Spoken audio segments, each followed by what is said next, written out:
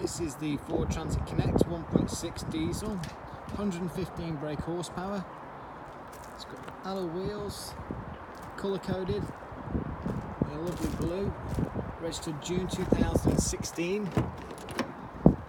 Electric windows, multifunction steering wheel, done just 17,213 miles. It's got a six speed box, aircon, all digital, along with your Bluetooth.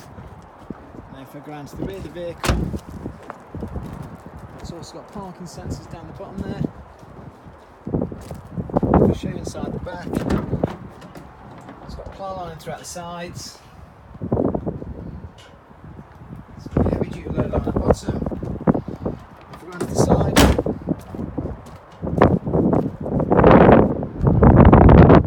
very clean.